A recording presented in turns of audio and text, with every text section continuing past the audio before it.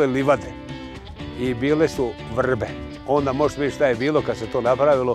I inače je to jako teška, ali jako dobra i rodna, plodna crna zemlja. Poslije žetvenih ostataka vršili smo tretmane i odmah smo to unosili. Prvo smo to unosili tanjuračom u tlo, onda smo kasnije odmah u 7 do 10 dana su smo tu površinu porali i riješili se i jednim dijelom, velikim dijelom korova. Jer tu, tu je bilo recimo baza je bila neka od ifora, to je bilo po dva metra su bile korovne. Evo sad se vidi nakon toliko godina šta se napravilo od ove crne zemlje.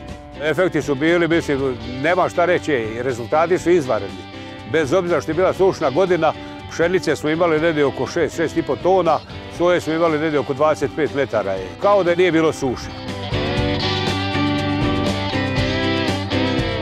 U svim kompletno kulturama, sve što se proizvodi, ni jedna nije zasađena, zasijana, da nismo upotrebili od biognezda, od bioeha, od bioaktiva, od biopluga, od tu ne odustajem. Ja svakome govorim da ga uzme i da se osvjedoči i da mi više ne priča što mi tu pojedini kažu to ti tvoja ta kaže bage tvoja sveta vodica. Ja kažem vidite vi rezultate. Nema boljega. Osjeti se to recimo i kad stavim ruku u džep to je prvo, onda čovjek ima zadovoljštinu i za budućnost. I da bi djeca naša ostala, dok ja budem mogao raditi, dok god bude ti proizvoda, ja od toga odustati neću. Svake godine kako je to izašlo, ja uzimam i samo radim s tim.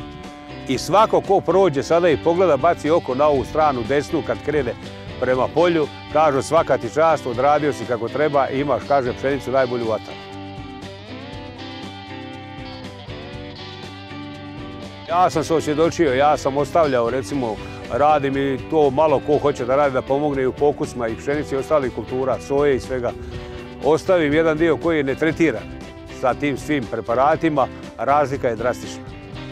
Ko hoće nek proba, vidit će šta je, ja mu toplo preporučam svako od poljoprivrednika nek proba na svome gospodarstvu, gažnicu, kako hoćete, pa će se osvjedoći sam.